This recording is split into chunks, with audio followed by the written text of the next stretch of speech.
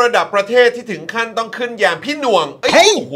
เออโทษทีฮะ ไปออกรายการโหนกระแสของพี่หนุ่มนะครับ นั่นก็คือเรื่องของครูเบญญาภาครับ ซึ่งทำงานเป็นครูอัตราจ้างอยู่ที่จังหวัดพระนครศรีอยุธยานะครับ แล้วมาทำการสอบคัดเลือกเป็นพนักงานราชการในจังหวัดสระแก้วครับ เพราะว่าอยากจะย้ายมาทำงานเป็นครูในโรงเรียนที่สระแก้วนะครับ เพราะว่าการเป็นพนักงานราชการเนี่ยมีความมั่นคงกว่าการเป็นครูอัตราจ้าง และจะได้อยู่กับครอบครัวด้วยนะครับ ครูเบนไปสอบเป็นพนักงานราชการทั่วไป เอกวิทยาศาสตร์กับต้นสังกัด ซึ่งก็คือสำนักงานเขตพื้นที่การศึกษามัธยมศึกษาสาแก้ว หรือสอพมสาแก้วครับ ปรากฏว่าตอนประกาศผลสอบชื่อของครูเบนขึ้นเป็นอันดับหนึ่งนะครับ ก็คือสอบได้ที่หนึ่งในตำแหน่งพนักงานราชการตำแหน่งนี้ไปนั่นแหละ ครูเขาเนี่ยนะครับก็ไปจัดการเตรียมตัวย้ายมาสระแก้วครับ คืนบ้านเช่าเตรียมชุดสีกากีไปรายงานตัวทางบ้านเนี่ยก็ดีใจกันมาก คงรู้กันทั่วแล้วล่ะครับ แต่ 3 วันต่อมาครับ อยู่ดีๆครับก็มีการประกาศผลสอบใหม่อีกรอบนึง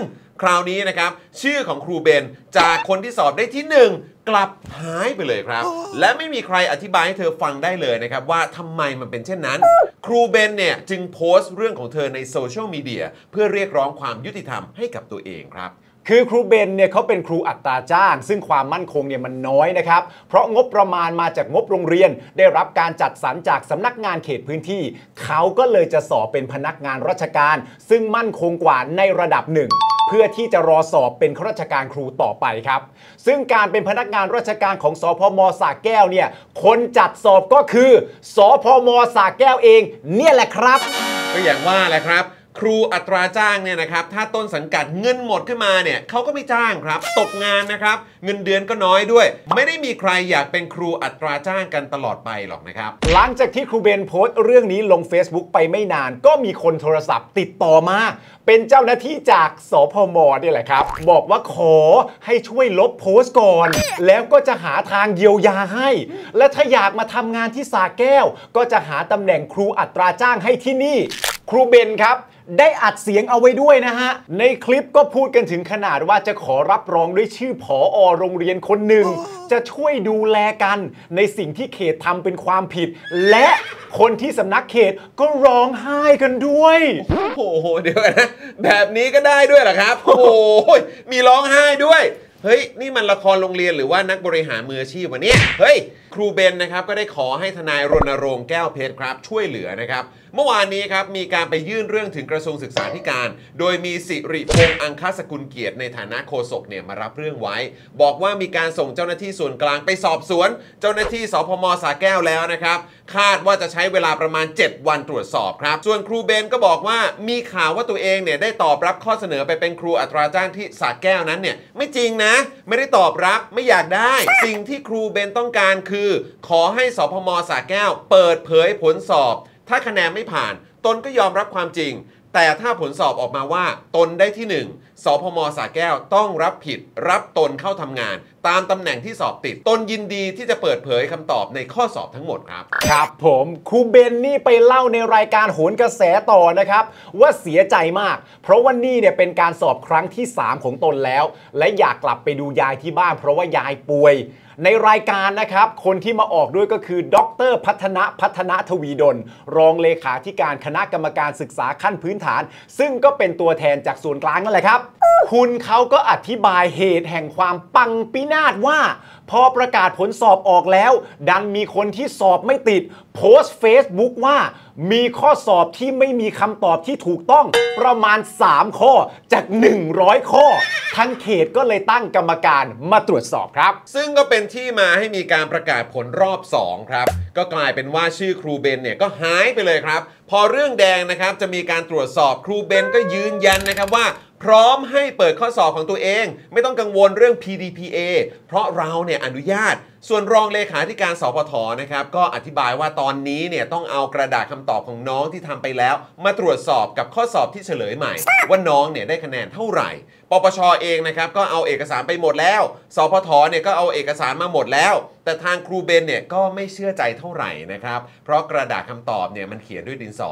คือมันลบได้อะครับ ในประเด็นนี้กูขอพูดเลยนะครับว่าในที่นี้เนี่ยมีครูเบนฉลาดอยู่คนเดียวอะครับ ส่วนกลางจะตรวจเอกสารบ้าบออะไรตั้ง 7 วันวะ แล้วข้อสอบตอบเป็นดินสอลบได้นี่เขาไม่ไว้ใจก็แปลว่า เขาก็คิดถูกแล้วไหมวะ คนต่อมานะครับที่มาโฟนอินนะครับก็คือประยงสารภูมิครับพออสำนักงานเขตพื้นที่การศึกษามัธยมศึกษาสระแก้วครับ ซึ่งก็คือหัวหน้าใหญ่ของการจัดสอบเนี่ยแหละครับ ประยงเนี่ยนะครับต้องเรียกว่าโดนกระซวกแบบจบไม่สวยเลยนะครับงงกับคนที่ได้เป็นข้าราชการระดับสูงในประเทศนี้จริง ๆ ว่ะ นี่ระดับผู้อำนวยการนะเว้ย โฟนอินมาก็อธิบายอะไรวกไปวนมางงงวยไม่รู้เรื่องไปเรื่อยๆครับ จนพี่หนุ่มเนี่ยนะครับต้องถามง่าย ๆ เลยนะครับว่า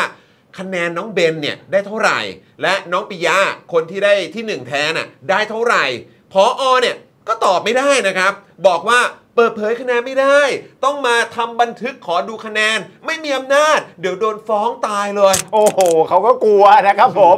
แล้วก็บอกต่อไปว่าหลังตรวจสอบส่วนข้อสอบและเฉลย พบว่ามีความผิดพลาด คณะกรรมการเลยลงความเห็นว่า ควรตรวจกระดาษคำตอบใหม่อีกครั้งหนึ่ง เมื่อตรวจใหม่ ประมวลผลใหม่ ประกาศใหม่ เราถึงเพิ่งรู้ว่าน้องเบนมีคะแนนไม่ผ่านตั้งแต่ครั้งแรกแล้ว และปิยะเนี่ยเขาได้คะแนนที่หนึ่งมาตั้งแต่เราตรวจกระดาษคำตอบประมวลผลครั้งแรกแล้ว แล้วก็พยายามอธิบายต่อไปนะครับว่า น้องเบนลำดับที่เข้าสอบอยู่ก่อนน้องปิยะที่อยู่ลำดับติดกัน แต่เจ้าหน้าที่เขาไปดูในส่วนผู้ทำการสอบผิดพลาดพลาดเคลื่อนไป เขาถึงได้หยิบคนนั้น มาทำประกาศในการประกาศรายชื่อผู้ที่ผ่านการสอบในลำดับที่หนึ่งคนแรกไง คุณผู้ชมครับ สรุปว่าก๊อปชื่อมาวางผิดนะครับ โอ้ my god ก๊อปชื่อมาวางผิด แล้วก็ประกาศออกมาครับ เค อยากพิมพ์อะไรตอนนี้พิมพ์เข้ามาเลยครับ ตอนนี้เลยเม้นเข้ามาครับ นี่คือประเทศที่เวลาไปติดต่อราชการนะครับ ถ้าเขียนผิดนะ หรือกรอกผิดนิดเดียวนะมึงเนี่ยนะ จะโดนทำโทษให้กลับไปทำมาใหม่ แล้วก็ไปต่อแถวมาใหม่นะครับ นี่คือประเทศที่ถ้าสะกดที่อยู่บริษัทผิดแม้แต่คำเดียว เอกสารมึงต้องทิ้งแล้วทำใหม่นะครับนี่คือประเทศที่แม่งต้องมีสำเนา มีรับรองสำเนา มีปั๊มสำเนาถูกต้อง มีคนตรวจรอบที่ 1 มีคนตรวจรอบที่ 2 มีคนตรวจรอบที่ 8 เซ็นชื่อต่อกันบนกระดาษตราคุดยาวเป็นหางว่าวอะครับ นี่คือประเทศนี้ครับ แล้วมึงก๊อปชื่อวางผิดจากคนสอบไม่ได้ มาเป็นคนสอบได้ที่หนึ่ง ส่วนคนที่มึงเคลมว่าสอบได้ที่หนึ่งก็ไม่มีชื่ออยู่ในการประกาศครั้งแรกเลย แล้วมึงจะเอาอะไรมาให้ประชาชนเขาเชื่อถือล่ะครับ คุณผู้ชมครับ แหล่งข่าวของ Daily Topics ในพื้นที่ของเราเนี่ยอุ๊ยนะครับ ก็ได้เล่าให้ฟังมานะครับว่า เขาบอกว่า เออห่วยจริง นี่เป็นไงล่ะ แหล่งข่าวเรา อัปเดตมาก ไม่มีคำอธิบายอื่นครับ นอกจากห่วย ชุยไม่มีการศึกษาไม่รับผิดชอบทำงานกันเหมือนเป็นซาก ไม่มีใครอยากรับผิดชอบอะไรเลย เป็นไปได้ไงครับ ออกข้อสอบมาให้เฉลยผิดตั้ง 3 ข้อแต่ข้อสอบ TCAS UCAS YCAS พ่องมึง CAS เนี่ย ที่สอบกันทุกปีทุกปีอะแม่งก็มีผิดกันเยอะแยะตลอดนะครับ จะไปด่าสอบพมสาแก้วอย่างเดียว ไอ้ประเด็นนี้ก็คงจะไม่ได้อืม ครับผม ความห่วยเนี่ยมันเดินทางไปแบบอย่างทั่วถึงว่างั้นเถอะอะใช่ครับ โอ้ยแต่มันเหนือจริงมากนะครับคำตอบสุดท้ายของทุกคำถามก็คืออ๋อก๊อปชื่อมาวางผิดนะคะโอ้ยเฮ้ย มันเกินไปมากเลยนะเว้ย มันไม่ใช่แค่เกินไปมากนะเว้ยเพื่อน นี่มันคือการสูญสิ้นความเป็นคนเลยอะคือไม่มีใครมีความภาคภูมิใจในงานที่ตัวเองทำกันเลยเหรอวะ ไม่มีใครรู้สึกเลยเหรอว่างานตัวเองมันมีคุณค่ามากพอที่จะใส่ใจกับเรื่องแค่เนี้ย ซึ่งมันคือชีวิตทั้งชีวิตของคนคนหนึ่งเลยนะเว้ย แต่คนที่เล่ามาเนี่ยนะครับเอ่อแหล่งข่าวของเราอะครับครับเออเขาบอกว่าห่วยจริง คือไม่มีใครอยากทำงานน่ะอยู่กันแบบซักซากอะครับ กินเงินเดือนเอาสวัสดิการไปวันๆเรื่องเงินเดือนตกเบิกเนี่ยนะครับ โอ้โหเขาเล่าให้ฟังว่าเละเทะมากๆเลยนะครับ ไปตามกันได้นะเรื่องนี้ เออ